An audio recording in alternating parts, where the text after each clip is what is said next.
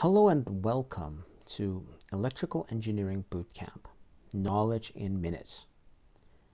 In this video, I wanted to answer a question that was once asked to me, and that is how capacitor banks can improve voltage. So I have to say, first of all, capacitor banks do not directly improve voltage at least not in the AC system.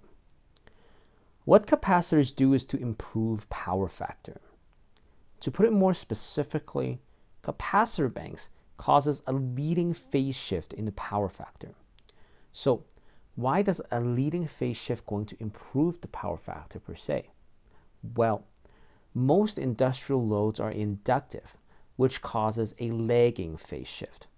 So capacitors helps correct the power factor by causing a leading phase shift in the power factor, which allows the power factor closer to unity.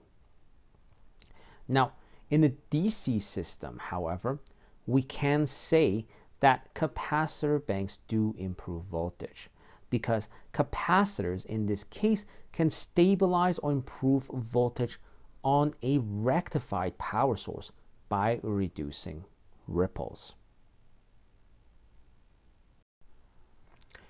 If you want to build a more comprehensive knowledge base uh, revolving around the um, substations, I recommend you to check out my course in Udemy called Substation Power Engineering Fundamentals.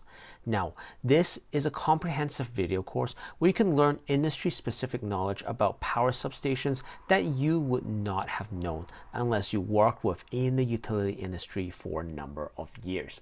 So if you're interested in joining this course, please check it out with the link in the video description for this from this video.